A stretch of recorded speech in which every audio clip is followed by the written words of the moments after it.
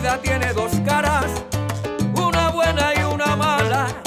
Tú decides cuál te jala, en cuál de las dos te paras. Se te mide